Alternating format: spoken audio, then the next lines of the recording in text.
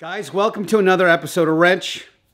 On this episode, I'm going to introduce you to Rustmageddon, which is the rustiest Porsche 911 I've ever tried to restore.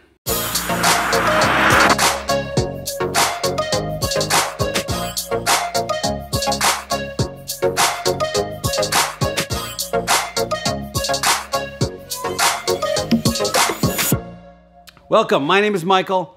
I'm the proprietor here of the Rennch Garage, which is just me. I'm just a dude in a garage. But I was doing a blasting project. I have a little side sandblasting business uh, uh, about a year and a half ago for a buddy of mine who had a 1969 Porsche 911E. And as I was blasting it, it kept getting worser and worser and worser and worser. Just an inch of Bondo falling off of panels. And I went, oof he doesn't know any of this. He bought the car thinking it was going to be a quick restoration, paint job, and then out the door. Unfortunately, turns out this is the rustiest nugget either of us have ever seen.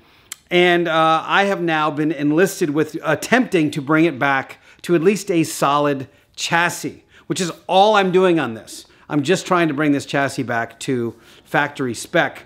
But as you can see from these pictures, it is a complete and utter disaster. Rocker panels are gone. Front suspension area is gone. Rear suspension area is gone. Seat pans are gone. Window sill is gone. Uh, front latch panel is gone. It's just an utter disaster. Now, I've got 20 feet of one inch square tubing that I'm going to use to reinforce the chassis because I'm gonna be cutting a ton of factory panels off it. I'd like to keep it where it is currently. Uh, it's on my octisserie and that mounts to factory mounting points. So I'm thinking that the chassis itself is still in fairly decent shape uh, measurement wise.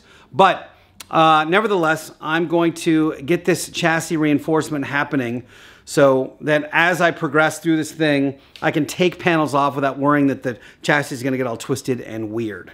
I do have a few panels to weld in, mostly just the floor, but this thing's gonna need a ton.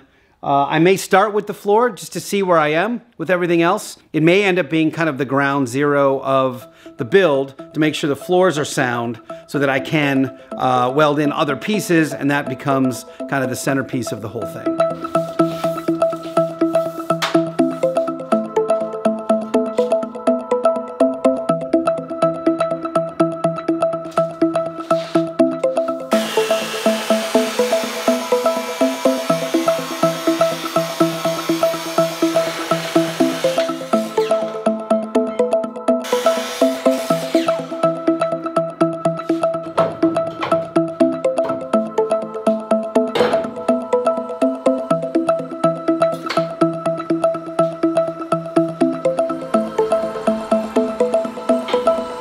All right, I had this bracket left over from the uh, race car origins of the Blasphemy build.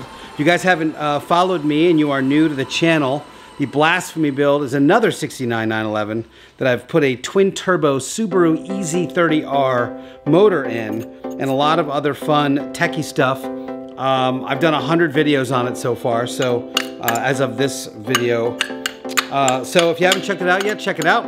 Anyway, I had this bracket that uh, was actually used as a transmission mount in that original race car. So I've just cut it in half. I'm gonna bolt this into the seatbelt mounts and then I'm gonna weld my tubing in a diagonal from here to the seatbelt mount and triangulate the, uh, the window frame. So that's the plan right now.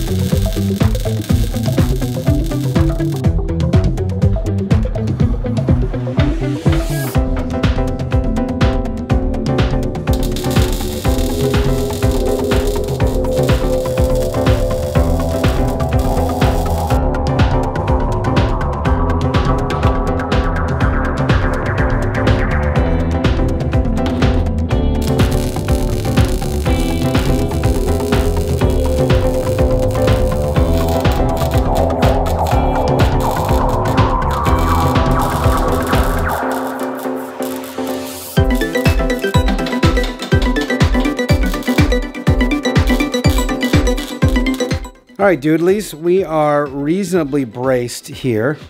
Uh, I had an extra one here because I wanted to get something to cross, but super solid now.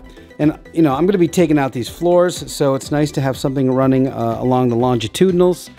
Uh, I probably need a couple of more cross braces, but honestly, I ran out of square tubing. What I would like to do is actually run one from there to that diagonal, so I will cross this thing up and uh, I've got this thing mounted to the seatbelt point here.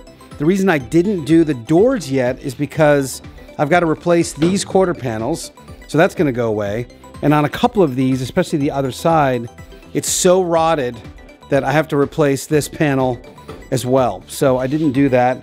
But honestly, I feel pretty good about it. I mean, it's secured front suspension all the way through here, then rear suspension. If I want to get super nerdy, which I might, I may actually tie these together. All right, that is episode one of Rust Mageddon.